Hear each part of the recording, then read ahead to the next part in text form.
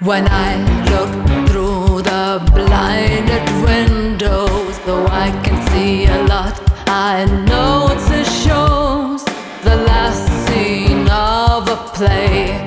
We shouldn't have stayed.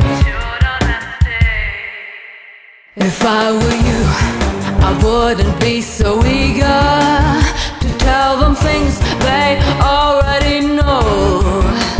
If I were you, go and try to live as I preach so that it shows. If I were you, I wouldn't go on talking.